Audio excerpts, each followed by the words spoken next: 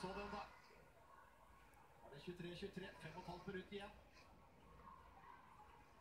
Målvakt tar ut eh, målvakta de siste sekundene for å kjøre 6 mot 6. Siste sekund av utvisningen.